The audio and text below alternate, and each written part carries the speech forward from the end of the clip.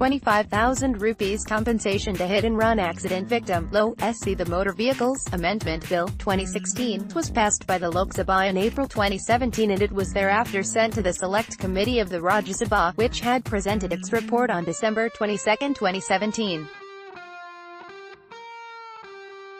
New Delhi, the Supreme Court on Thursday said that compensation amount of 25,000 rupees which is paid to a victim of hit-and-run accident in case of death is low, and a bill that proposes to raise this to Rs 2 lakh is pending before the parliament. The Motor Vehicles Amendment Bill, 2016, was passed by the Lok Sabha in April 2017 and it was thereafter sent to the Select Committee of the Rajya Sabha, which had presented its report on December 22, 2017. The Apex Court, which was hearing a matter concerning the issues of road safety in India, was told that the amount of compensation to the victim of hit-and-run accident was abysmal. 25,000 rupees is low. The proposal is to increase it to Rs 2 lakh.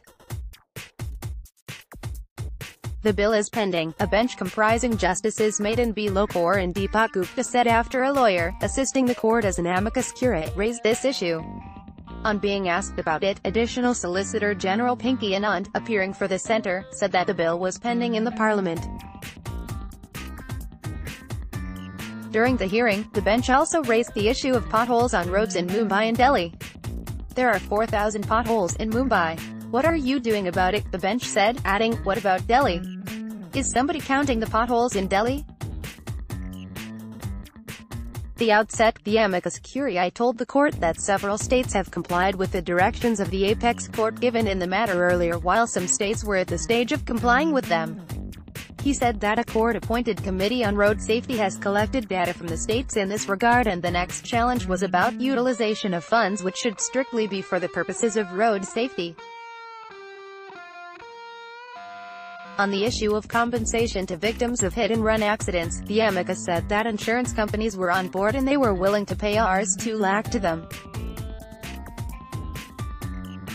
He said that out of around 1.60 lakh deaths reported in road accidents in India in 2016, around 20,000 people had died in hit-and-run accidents.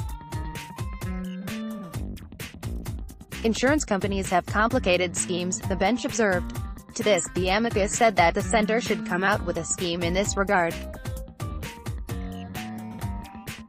The amicus also suggested that at the time of sale of two or four-wheelers, the third-party insurance should be for a period of three years instead of one year and this would ensure that large number of vehicles plying on the roads would be insured.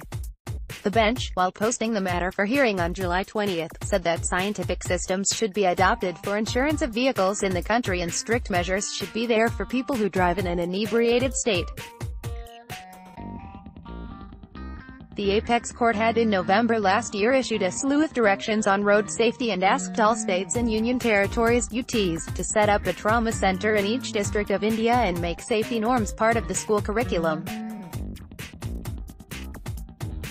It had also asked the states, which have not formulated the road safety policy, to frame it by January 31 and implement it with all due earnestness and seriousness.